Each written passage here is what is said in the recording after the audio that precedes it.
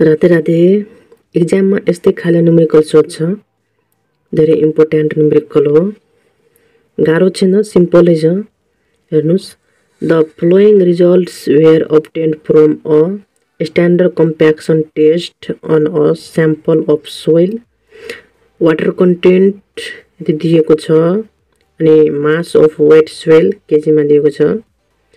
अनि the volume of the mould used was नौ सय पचास ML make necessary calculation and plot the compaction curve and obtained the maximum dry density and the optimum moisture content यो graph बनाउनु पर्यो अनि compaction curve हेराउनु पर्यो म्याक्सिमम ड्राई डेन्सिटी अनि अप्टिमम मोइस्चर कन्टेन्ट यो सबै देखाउनु पर्यो ग्राफमा अनि यहाँ सोलुसन होइन? भोल्युम दिएको छ नौ सय पचास। भोल्युम बी बराबर नौ सय पचास एमएल। एमएललाई मिटर क्युबमा लगाउनु पर्यो। किनकि? अनि डेन्सिटी होइन डेन्सिटी निकाल्नु पर्छ। डेन्सिटीको एकाइ हुन्छ फर्मुला हुन्छ एम बाई भी होइन। अनि यसको एकाइ हुन्छ केजी पर मिटर क्युब। अनि मास त यहाँ मास होइन मास केजीमा दिएको छ। अनि भोल्युम त भोल्युम होइन भोल्युम एमएलमा छ। यसलाई मिटर क्युबमा लगाउनु पऱ्यो किनकि एकाइ हुन्छ KG metre cube per metre cube होइन। त्यही भएर यसलाई चेन्ज गर्नुपर्छ एमएललाई वान एमएल बराबर हुन्छ वान सिसी त नौ सय पचास एमएल बराबर भयो नौ सय पचासै सिसी एक एक नियमबाट लगाएको छु होइन यहाँ नौ सय पचास एमएल बराबर। बढी भयो बढीमा गुना गरेँ यति भयो। नौ सय पचास सिसी अनि नौ सय पचास सिसीलाई सिसी भनेको सेन्टिमिटर क्युब हो। सेन्टिमिटर क्युबलाई अब चेन्ज गर्नु पऱ्यो मिटर क्युबमा सेन्टिमिटरलाई सेले डिभाइड गर्नु पऱ्यो यहाँ सेन्टिमिटर क्युब छ। सिसी भनेको सेन्टिमिटर क्युब छ। त तिनवटा सेले डिभाइड गर्नुपर्छ तिनवटा से भनेको ट्वेन्टी पावर सिक्स छवटा जिरो भयो। यतिले डिभाइड गरेँ जम्मा यति भयो डिभाइड गरेपछि zero point zero zero nine five metre cube volume भी बराबर यति भयो अब त्यसपछि calculation shown in the tabular form table बनाउनु पर्यो अनि सेम क्वेसनमा जति दिएको छ होइन यो वाटर कन्टेन्ट अनि मास सेम लेख्ने यहाँ यहाँ लेखाएको छु वाटर कन्टेन्ट पर्सेन्टलाई सेले डिभाइड गर्नुपर्छ। तर यसमा होइन सेले डिभाइड गरिसकेको छ क्वेसनमै गरिसकेको छ। यति सेम लेख्ने। सेले डिभाइड गर्नु पर्दैन यसमा किनकि वाटर कन्टेन्ट जिरो पोइन्टमा दिएको छ जिरो पोइन्ट पन्ध्र जिरो पोइन्ट सत्र। वाटर कन्टेन्ट पोइन्टमा दिएको छैन भने त्यति बेला सेले डिभाइड गर्नुपर्छ। यसले डिभाइड गर्नु पर्दैन। ठिक छ। यति नै राख्नु पऱ्यो अनि त्यसपछि मास अफ वेट स्वेल यति केजी छ। सबै क्वेसनबाट नै सेम लेख्ने टेबलमा होइन त्यसपछि अब ग्राफको लागि यो ड्राई डेन्सिटी निकाल्नु पर्छ। ड्राई डेन्सि ड्राई डेन्सिटी निकाल्नको लागि गामा बी चाहियो। डेन्सिटी अफ बल्क या डेन्सिटी अफ मास। कुरो एउटै हो। डेन्सिटी अफ बल्क बराबर मास बाई भोल्युम हुन्छ। अनि मासको फर्मुला लगाउनु पऱ्यो मास होइन डेन्सिटी अफ बल्कको फर्मुला मास बाई भोल्युम त मास यति छ होइन? बाई भोल्युम यतिले डिभाइड गर्ने भोल्युम सबैमा यतिले डिभाइड गर्नुपर्छ। मास यतिमा यतिले डिभाइड गरे यति भयो। यसको लागि होइन? अनि त्यसपछि फेरि अब यसमा। यति बाई फेरि भोल्युम यति। यतिले डिभाइड गरेँ यति भयो डेन्सिटी अफ बल्क। ठिक? अनि त्यसपछि फेरि सेम यसमा यति गर्ने सेम डिभाइड गर्ने भोल्युम यतिले गरिसकेको छु यति भयो। अनि यसमा डिभाइड गर्ने मास बाई भोल्युम यति भयो फेरि सेम यसमा गर्ने यतिले यति भयो यसमा यति भयो। अनि ड्राई डेन्सिटी ड्राई डेन्सिटी निकाल्नको लागि फर्मुला हुन्छ rho B by one plus W. Rho B यति आयो होइन?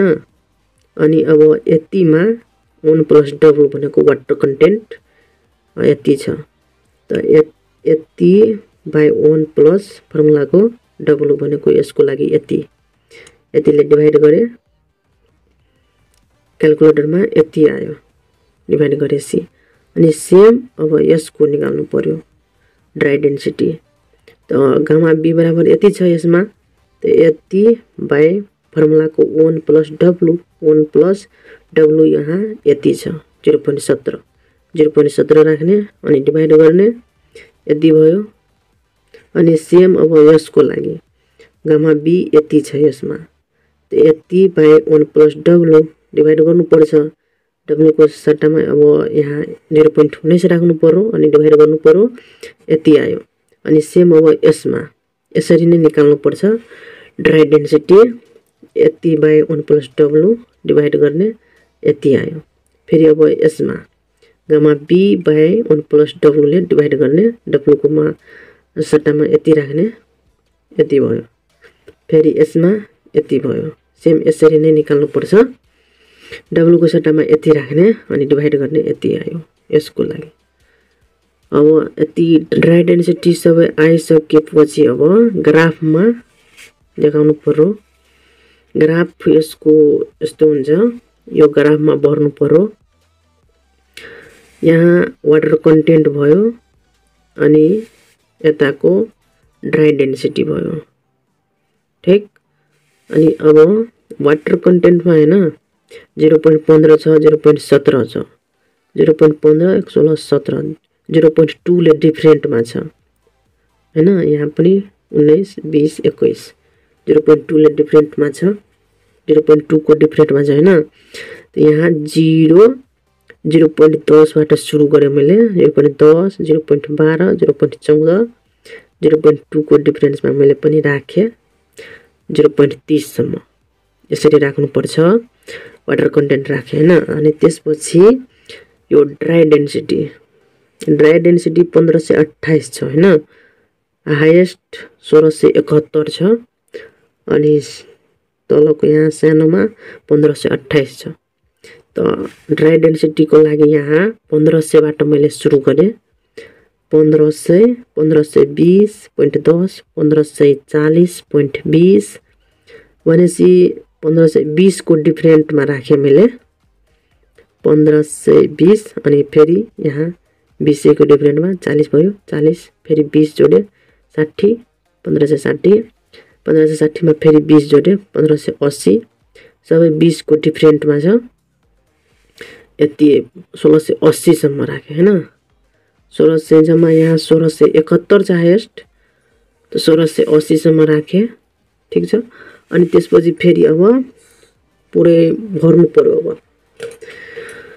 अब हेर यहाँ। वाटर कन्टेन्ट जिरो पोइन्ट पन्ध्रमा होइन पन्ध्र सय अट्ठाइस पोइन्ट छ भर्नु पऱ्यो जिरो पोइन्ट पन्ध्रमा होइन जिरो पोइन्ट दस बाह्र चौध यहाँ सोह्र छ। त बिचमा यो जिरो पोइन्ट पन्ध्र भयो। जिरो पोइन्ट पन्ध्रमा पन्ध्र सय अट्ठाइस पन्ध्र सय बिस यहाँ छ पन्ध्र सय चालिस। यहाँ आधीमा तिस हुन्छ। त पन्ध्र सय अट्ठाइस होइन तिसको यहाँ अलिक तल। यहाँ जिरो पोइन्ट पन्ध्रवाला लाइनमा। यहाँ चेक लगाएँ पोइन्ट लगाइसकेको छु होइन यसरी लगाउने। अनि त्यसपछि फेरि अब जिरो पोइन्ट सत्रमा वाटर कन्टेन्ट जिरो पोइन्ट सत्रमा ड्राई डेन्सिटी सोह्र सय छ्यालिस पोइन्ट बयालिस छ। यो भर्नु पऱ्यो जिरो पोइन्ट सत्र कहाँ छ? वाटर कन्टेन्टको लाइन यो हो। जिरो पोइन्ट सोह्र यहाँ छ अनि जिरो पोइन्ट अठार यहाँ छ त यो बिचमा जिरो पोइन्ट सत्र भयो जिरो पोइन्ट सत्रवाला लाइनमा सोह्र सय छ्यालिस सोह्र सय यहाँ छ सोह्र सय छ्यालिस सोह्र सय चालिस यहाँ सोह्र सय साठी सोह्र सय चालिस और साठीको बिचमा यहाँ सोह्र सय पचास भयो यहाँ। सोह्र सय छ्यालिस चाहियो होइन। यहाँ सोह्र सय पचासको आधीमा सोह्र सय पैँतालिस भयो। पैँतालिसको अलि माथि छ्यालिस हुन्छ। सोह्र सय छ्यालिस यहाँ आयो। जिरो पोइन्ट सत्रवाला लाइन।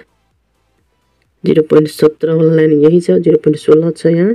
जिरो पोइन्ट सत्र यो लाइनमा यहाँ चेक लगाए। सोह्र सय छ्यालिसमा। ठिक? अनि त्यसपछि फेरि अब जिरो पोइन्ट उन्नाइसमा वाटर कन्टेन्ट ड्राई डेन्सिटी छ सोह्र सय एकहत्तर पोइन्ट बेरासी। जिरो पोइन्ट उन्नाइसमा होइन वाटर कन्टेन्ट यो लाइन छ जिरो पोइन्ट अठार जिरो पोइन्ट बिस जिरो पोइन्ट उन्नाइस यो भयो बिचको। जिरो पोइन्ट बिस होइन। यहाँ जिरो पोइन्ट उन्नाइसमा सोह्र सय एकहत्तर। सोह्र सय साठी सोह्र सय असीको बिचमा यहाँ सत्तर भयो। सोह्र सय सत्तर अनि एक एकहत्तर एक माथि। यहाँ चेक लगाएँ। जिरो पोइन्ट उन्नाइसवाला लाइनमा यहाँ चेक लगाएँ। सोह्र सय एकहत्तरमा यहाँ पोइन्ट लगाएँ होइन? अनि त्यसपछि फेरि अब जिरो पोइन्ट एक्काइसमा सोह्र सय नौ छ ड्राई डेन्सिटी सोह्र सय नौ होइन? जिरो पोइन्ट एक्काइस होइन? जिरो पोइन्ट बिस यहाँ छ जिरो पोइन्ट बाइस यहाँ छ जिरो पोइन्ट बिचमा यहाँ जिरो पोइन्ट एक्काइस। ठिक? अनि यो लाइनमा जिरो पोइन्ट एक्काइस यो लाइनमा हुन्छ सोह्र सय नौ।